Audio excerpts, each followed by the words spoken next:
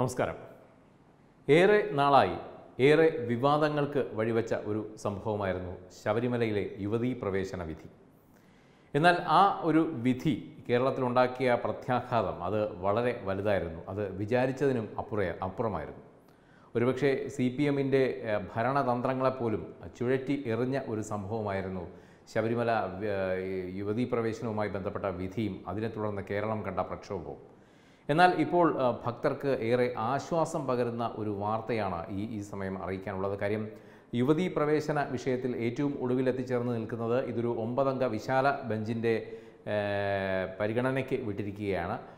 അതിനെ തുടർന്നാണ് കോവിഡും മറ്റും രാജ്യത്ത് വ്യാപകമായ സ്ഥിതിക്ക് ഈ കേസ് വളരെയധികം നീട്ടിവെച്ച് പോവുകയായിരുന്നു. പ്രത്യേകിച്ചും വളരെയധികം പഠനങ്ങളും ഗവേഷണങ്ങളും ഒക്കെ ആവശ്യമുള്ളത് കൊണ്ട് തന്നെ കോടതി ബോധപൂർവം ഈ- ഒരു കാര്യം മാറ്റിവെക്കുകയായിരുന്നു എന്നാൽ ഈ മാസം അവസാനം അല്ലെങ്കിൽ ആദ്യ മാർച്ച് മാസം ആദ്യം തന്നെ ഈ ഈ വിധിയിന്മേൽ ഇത് സംബന്ധിച്ച് ഒരു സുപ്രധാന വിധി ഉണ്ടാകും എന്നാണ് ഈ ഒരു അവസരത്തിൽ നമുക്ക് മനസ്സിലാക്കാൻ കഴിയുന്നത്. എന്തായാലും ഭക്തർ കാത്തിരിക്കുന്ന രീതിയിൽ ശബരിമല യുവതീ പ്രവേശന വിധി അത് ഭക്തർക്ക് അനുകൂലമാകുന്ന രീതിയിലുള്ള ഒരു വിധിയായിരിക്കും ഇനി ഉണ്ടാവുക എന്നുള്ള ഒരു സൂചനയാണ് പല ഭാഗങ്ങളിൽ നിന്നായിട്ട് ലഭിക്കുന്നത്. കാരണം നമുക്കറിയാം രണ്ടായിരത്തി പതിനെട്ട് സെപ്റ്റംബർ ഇരുപത്തിയെട്ടിന് സുപ്രീം കോടതി വളരെ വിവാദമായ ഈ ഒരു വിധി പ്രസ്താവിച്ചത്. ആ, വിധി കേട്ട് നടുങ്ങിയത് കോടിക്കണക്കിന് അയ്യപ്പ ഭക്തരാണ്. കോടിക്കണക്കിന് അയ്യപ്പ ഭക്തരുടെ മനസ്സാണ് അന്ന് നടുങ്ങിയത്. അതിനുശേഷം കേരളം കണ്ട പ്രക്ഷോഭങ്ങൾ കേരളത്തിലെ രാഷ്ട്രീയ സാഹചര്യങ്ങളെ വരെ മാറ്റിമറിച്ച പ്രക്ഷോഭങ്ങളും സമരങ്ങളും ഒക്കെ നമ്മൾ കണ്ടതാണ്. ഒരുപക്ഷെ ചരിത്രത്തിൽ ആദ്യമായി കേരളത്തിലെ സ്ത്രീകൾ അടുക്കള വിട്ട് അണിയറയിലേക്ക് സമരമുഖത്തേക്ക് ഇത്രയധികം സ്ത്രീജനങ്ങൾ വീട്ടമ്മമാർ ഒത്തുകൂടി ഇറങ്ങിയത് സ്വാമി അയ്യപ്പന്റെ ആചാരം സംരക്ഷിക്കാൻ വേണ്ടിയാണെന്നുള്ള ഒരു തിരിച്ചറിവും അന്നത്തോടെ കേരളത്തിനുണ്ടായി. അതിന് ബദലായി നവോത്ഥാനം അതിലും മറ്റെന്തൊക്കെയോ നിർമ്മിക്കാൻ നോക്കിയിട്ടും അന്നത്തെ ആ പ്രക്ഷോഭക്കടലിന് മുന്നിൽ അതെല്ലാം തകർന്ന് അടിയുകയായിരുന്നു. അതൊക്കെ കേരളം പിന്നീട് കണ്ട കാര്യങ്ങളാണ്. അതൊക്കെ പിൽക്കാല ചരിത്രവും ആണ്. എന്തായാലും ഇപ്പോൾ ഈ ഒരു അവസരത്തിൽ നമുക്ക് പറയാനുള്ളത് ശബരിമല യുവതി പ്രവേശന വിഷയത്തിൽ അത് വിശാല ബെഞ്ചിന് വിട്ട് വിട്ടിരിക്കുകയാണ്. ഒൻപതംഗ വിശാല ബെഞ്ചിന്റെ പരിഗണനയ്ക്ക് വിട്ടിരിക്കുകയാണ്.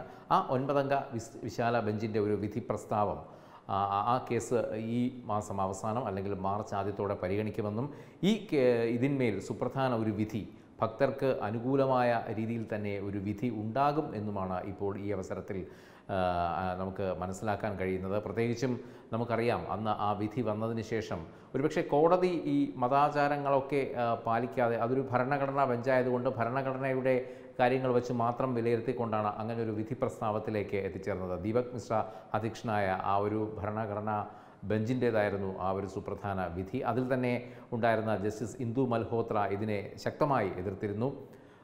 പിന്നീട് ഇങ്ങോട്ടുള്ള കാര്യങ്ങളൊക്കെ നമുക്കറിയാവുന്നതാണ്. ആദ്യം ഇത് അഞ്ചംഗ ഭരണസമിതിക്ക് അഞ്ചംഗ ബെഞ്ചിലേക്ക് വിടുന്നു. അത് കഴിഞ്ഞാണ് പിന്നീട് ഇത് ഒമ്പതംഗ വിശാല ബെഞ്ചിലേക്ക്. അത് ഈ ശബരിമല വിഷയത്തിൽ മാത്രമല്ല സ്ത്രീകളുടെ ആരാധനാ സ്വാതന്ത്ര്യത്തെ സംബന്ധിച്ചൊക്കെ വിശാലമായി പഠിക്കുന്നതിനും മറ്റു കാര്യങ്ങൾ മനസ്സിലാക്കുന്നതിനും വേണ്ടിയാണ് ഈ ഒൻപതംഗ ബെഞ്ചിലേക്ക് വിട്ടിരിക്കുന്നത്. ഇതിൽ തന്നെ പരാശരണ പോലുള്ള വളരെ മുതിർന്ന അഭിഭാഷകർ ആചാര സംരക്ഷണത്തിന് വേണ്ടി ശബരിമല മറ്റ് ക്ഷേത്രങ്ങൾ പോലെ അല്ല ആചാര സമ്പുഷ്ടമാണ് ആചാര നിബിഡമാണ് അവിടുത്തെ ഓരോ കാര്യങ്ങളും.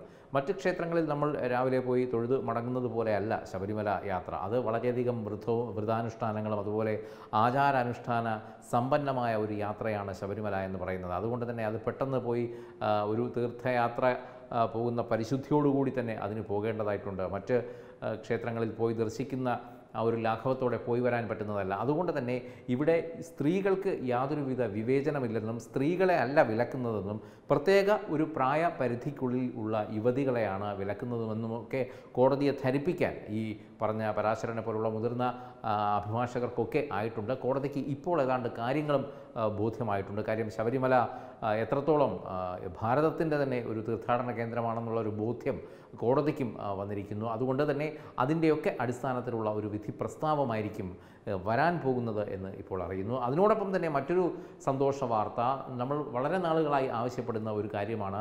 ശബരിമലയെ തിരുവിതാംകൂർ ദേവസ്വം ബോർഡിന്റെ കീഴിലുള്ള ശബരിമലയെ അതിൽ നിന്ന് അടർത്തി മാറ്റി പ്രത്യേകമായ ഒരു ദേവസ്ഥാന പരിഗണന നൽകണമെന്നും അത് കേന്ദ്രത്തിന്റെ പരിഗണ കേന്ദ്രത്തിന്റെ ഭരണ വ്യവസ്ഥ ആ ഒരു രീതിയിലേക്ക് കൊണ്ടുവരണമെന്നും ശബരിമലയുടെ സംരക്ഷണ ചുമതല കേന്ദ്ര സേനയെ ഏൽപ്പിക്കണമെന്നും നമ്മൾ കാലാകാലങ്ങളിലായി ആവശ്യപ്പെട്ടിട്ടുണ്ടായിരുന്നു. തത്വമയി ന്യൂസ് ഇത് സംബന്ധിച്ചൊരു ക്യാമ്പയിൻ തന്നെ കഴിഞ്ഞ രണ്ട് മാസം മുമ്പ് ഞങ്ങൾ അവതരിപ്പിച്ചിരുന്നു. ഇപ്പോൾ ഇത് സംബന്ധിച്ചും ചില സുപ്രധാന തീരുമാനങ്ങൾ ഉടൻ ഉണ്ടാകുമെന്നും ഒരു സൂചന ലഭിക്കുന്നുണ്ട്. പ്രത്യേകിച്ചും ശബരിമല ഈ പറഞ്ഞതുപോലെ തിരുവിതാംകൂർ ദേവസ്വം ബോർഡിന്റെ കയ്യിൽ നിന്ന് എടുത്തു മാറ്റിക്കൊണ്ട് ശബരിമലയ്ക്ക് വൈഷ്ണവോ ദേവി ക്ഷേത്രം പോലെ കേദാർനാഥ് പോലെ ബദ്രീനാഥ് പോലെ അല്ലെങ്കിൽ ഗംഗോത്രിയിലും യമുനോത്രിയിലുമുള്ള ക്ഷേത്രങ്ങൾ പോലെ വളരെ വിശിഷ്ടമായ ഒരു സ്ഥാനം നൽകിക്കൊണ്ട് അന്താരാഷ്ട്ര തീർത്ഥാടന കേന്ദ്രമായി ഉയർത്തുകയും അത് ഡയറക്റ്റായിട്ട് കേന്ദ്ര ഗവൺമെന്റിന്റെ കീഴിൽ കൊണ്ടുവരുന്ന രീതിയിലേക്ക് കാര്യങ്ങൾ മുന്നോട്ട് കൊണ്ടുപോകുന്നു എന്നുള്ള ഒരു രഹസ്യ വിവരം കൂടി നമുക്ക് ഡൽഹിയിൽ നിന്നും ലഭിക്കുന്നുണ്ട്. ഇത് സംബന്ധിച്ചൊരു സ്ഥിരീകരിക്കാനുള്ള റിപ്പോർട്ടുകളൊന്നും തന്നെ നമുക്കിതുവരെ ഈ ഈ അവസരത്തിൽ നമുക്ക് ലഭിച്ചിട്ടില്ല. പക്ഷേ ഇത് സംബന്ധിച്ച് ചില നീക്കുപോക്കുകൾ നടക്കുന്നതായിട്ടുള്ള സൂചനകൾ ലഭിച്ചിട്ടുണ്ട്. അതുപോലെ തന്നെ ഇത് ഈ ഭക്തർ ആഗ്രഹിക്കുന്ന പ്രകാരം പന്തളം കൊട്ടാരം തന്ത്രി കുടുംബം ഇവരൊക്കെ ചേർന്നിട്ടുള്ള ഒരു ഒരു ഭരണസമിതി.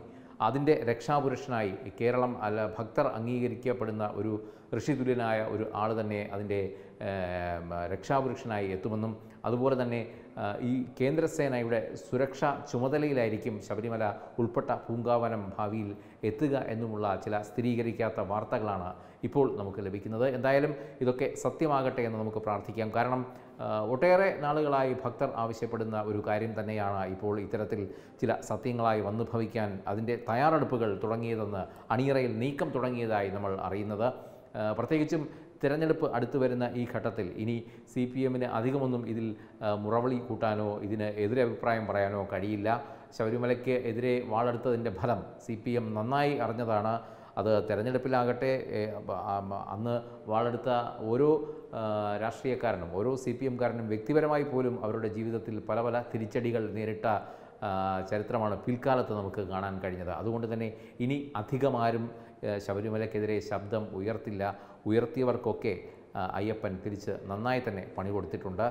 ഇനി ആവശ്യം അത് ഭക്തരുടെ ആഗ്രഹം പോലെ ആ, പൂങ്കാവനത്തിന്റെ പവിത്രത കാത്തു സൂക്ഷിച്ചുകൊണ്ട് അതിന്റെ സുരക്ഷ കേന്ദ്ര സേന ഏറ്റെടുക്കുന്നു ഏറ്റെടുക്കണമെന്ന ഒരു ആവശ്യം അത് യാഥാർത്ഥ്യത്തിലേക്ക് പോകുന്നു. അതുപോലെ തന്നെ ദേവസ്വം ബോർഡ് കാലാകാലങ്ങളിലായി കട്ടുമുടിച്ച് വെറുതെ ഒരു കറവ പശുവിനെ കാണുന്ന ലാഘവത്തോടെ കണ്ടിരുന്ന ആ ശബരിമല ദേവസ്വം ബോർഡിന്റെ കയ്യിൽ നിന്ന് അടർത്തി മാറ്റി ഈ പറഞ്ഞതുപോലെ കേന്ദ്രത്തിന്റെ നേരിട്ടുള്ള ഇടപെടൽ വരുന്ന രീതിയിൽ വൈഷ്ണവോ ദേവി ക്ഷേത്രം പോലെ അല്ലെങ്കിൽ കേദാർനാഥ് പോലെ ബദ്രീനാഥ് പോലെ അത്രയും പവിത്രമായ അത്രയും പ്രശസ്തമായ ഒരു അന്താരാഷ്ട്ര തീർത്ഥാടന കേന്ദ്രമായി മാറ്റാനുള്ള ഒരു തയ്യാറെടുപ്പ്. അത് അത് അതിന്റെ തുടക്കമാണ് അണിയറയിൽ ഇപ്പോൾ നടക്കുന്നത് എന്നാണ് ഇപ്പോൾ അറിയാൻ കഴിയുന്നത്. എന്തായാലും ഈ വരുന്ന മാസങ്ങൾ ഇത് സംബന്ധിച്ചുള്ള സുപ്രധാന തീരുമാനങ്ങൾ പുറത്തു വരും. ആ, നല്ല വാർത്തകൾക്കായിട്ടുള്ള നമുക്ക് കാതോർത്തിരിക്കുകയാണ് ഭക്തർ. ലോകമെമ്പാടുമുള്ള അയ്യപ്പ ഭക്തർ. ഇപ്പോൾ ഈ കഴിഞ്ഞ ദിവസങ്ങളിൽ തന്നെ ഭക്തർക്ക് ലോകമെമ്പാടുമുള്ള അയ്യപ്പ ഭക്തർക്ക് ഏറ്റവും സന്തോഷം പകർന്ന ഒരു കാര്യമായിരുന്നു ബ്രഹ്മോസ് റെജിമെന്റ് സ്വാമിയെ ശരണമയ്യപ്പ എന്നുള്ള ആ ഒരു ദിവ്യമന്ത്രം അവരുടെ യുദ്ധ കാഹളമായി സ്വീകരിച്ചത്. നമ്മൾ അത് കഴിഞ്ഞ ദിവസം റിപ്പബ്ലിക് ഡേ പരേഡിലുമൊക്കെ കണ്ടതാണ്. അത് സംബന്ധിച്ച വാർത്തകൾ.